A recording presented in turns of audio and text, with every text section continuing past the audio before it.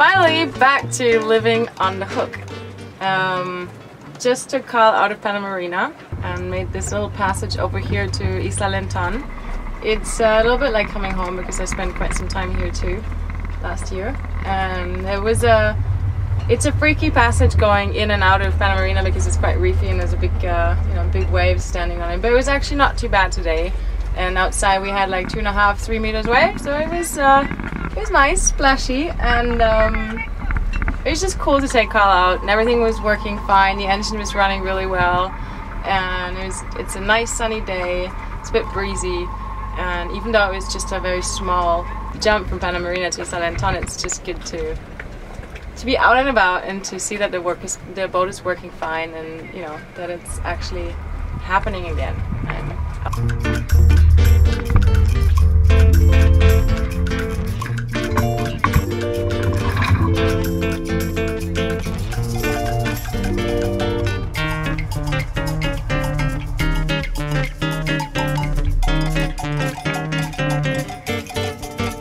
So it has taken not even two weeks to get out of the marina, which is awesome.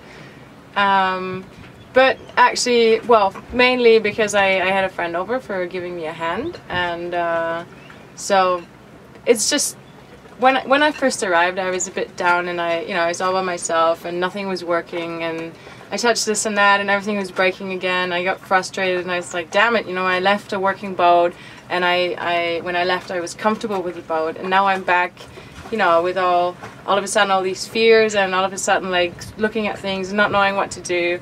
So it took me a time to groove in and and then I started a couple of projects. Um, but still you know it's it's difficult to do some things if you're by yourself. So it was awesome that Maria came over to give me a hand. Um, we had to fix um, a part of the halyard of the of the jib because uh, it was kind of ripped apart. So she showed me how to serve uh, the the halyard because it had like, these little pokey things coming out because it's at the mast. It's like it's like um, held by a metal thing, so it always rubs there. So there's like little pokey things from the wire coming out. So we served it together. So that was that was pretty cool because she used to work on traditional yachts and you know like traditional sailboats and. Um, that's where she learned all that stuff and now she can, you know, she can teach it to me, which is awesome.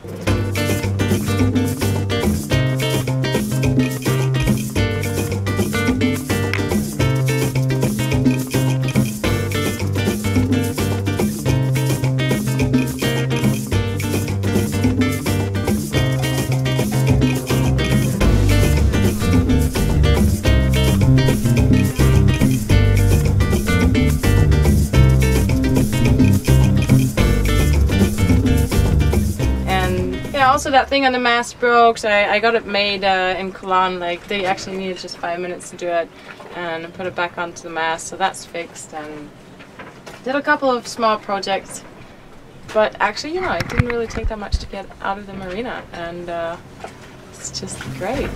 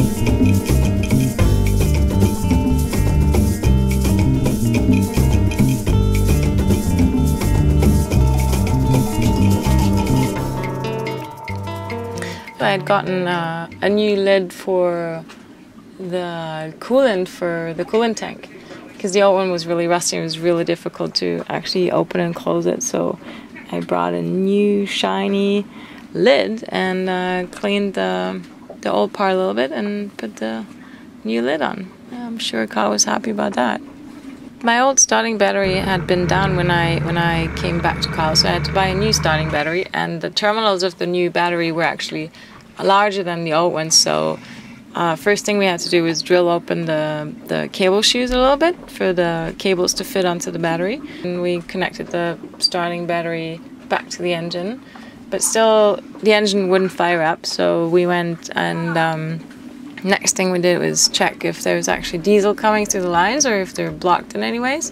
So usually you start from the tank towards the engine, you work your way through, and it's quite a messy business because you actually have to suck on the diesel lines, and then the diesel comes all into your mouth, and yeah, it's not very, it's not very nice, but has to be done. Good thing was that there was actually diesel coming through, and the lines weren't blocked at all. So we we went on trying.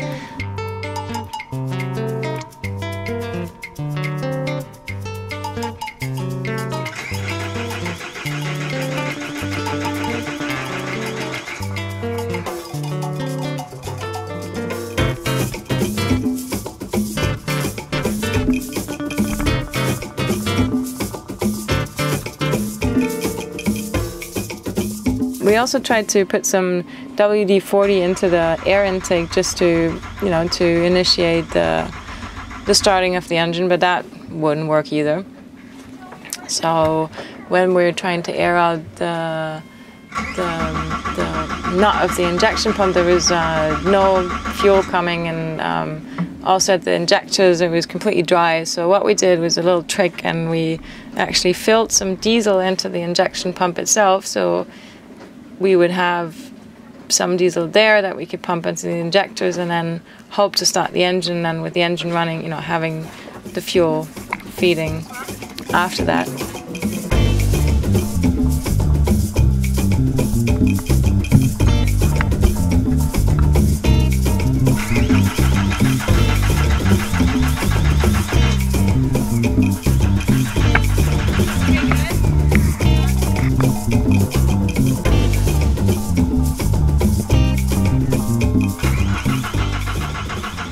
Actually, eventually, after playing around with the injectors for quite some time, Karl finally decided that he was going to fire up. And uh, was a pretty, pretty great moment. And um, it's always good to hear your engine running. gives you gives you a good, uh, confident feeling and a bit of trust back into your boat. And once the, the engine was running, we, we put it in gear to see if everything everything was working fine. And uh, Maria taught me that if you put a big screwdriver to the to the housing of the engine, that you can actually hear if the if the pistons are, are going well and if everything sounds uh, good inside the engine. So that was a great new thing to learn for me.